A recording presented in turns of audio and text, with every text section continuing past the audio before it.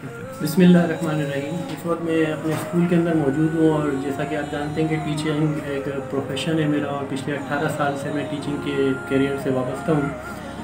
हमारे यहाँ nine class के अंदर जो कोर्स दिया गया था, उसमें कुछ पब्लिश मिस्टेक्स थी जिसको मोहतरम सईद गनी साहब ने सही किया और वो बुक्स को दोबारा उठा लिया था क्योंकि एक चैप्टर है the sermon of the holy prophet उसमें हम आखिरी नबी का जो लास्ट वाला वर्ड था, उसको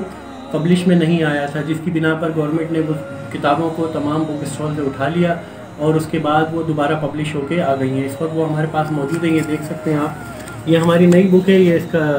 फ्रंट है, ये नई बुक का, ये नई बुक है, इसमें ये चैप्टर है और ये हमारी पुरानी बुक है। ये पुरानी बुक जो कई सालों से, हमारे पास अट्ठारह बीस साल से ये बुक हमारे पास चल रही थी और इस पर काम हो रहा था। इसमें अब एक छोटी सी मिस्टेक ये की गई है, वो पब्लिश की तरफ़ से हुई है या क्या चीज़ है, वो मैं आपको दिखाना चाहूँगा कि लास्ट सरमन का जो मामला था, वो तो क्लियर कर दिया गया। लेकिन हिजरत के ऊपर जो हज़रत अबू बकर सिद्दीक रज़ी अल्लाह अल्लाह के नबी के साथ थे,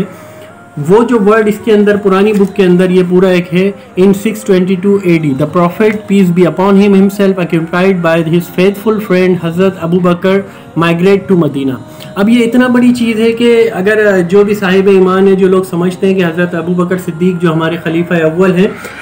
हिजरत के दौरान अल्लाह के नबी के पास कोई चीज़ कोई चीज़, कोई भी चीज़ ऐसी नहीं थी जो हज़रत अबू बकर सिद्दीक रज़ी अल्लाह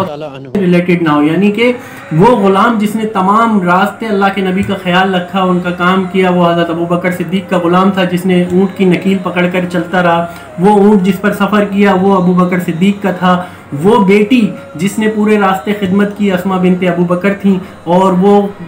जानिसार साथी तो हमेशा आपके साथ ही रहता था, हज़रत अबू बकर सिद्दीक रज़ी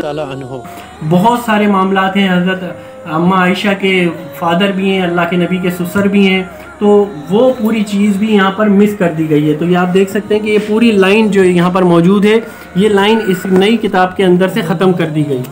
तो ये पब्लिश मिस्टेक्स हैं या क्या हैं तो मैं तमाम इदारों से, तमाम लोगों से और अपने तमाम व्लॉगर से, ख़ास तौर पे जो अच्छे अच्छे बड़े व्लॉगर हैं, उनसे मैं ये रिक्वेस्ट करूँगा कि बर मेहरबानी इसको आगे करें ताकि, और ये बात सईद गनी साहब तक पहुँच सके कि हम इस मिस्टेक्स को कैसे दूर करें, इसको कैसे सही करें और दोबारा हज़रत अबू बकर रज़ी अल्लाह तला का नाम इसमें शामिल हो सके। वाखिर दावाना अलहमदिल्ला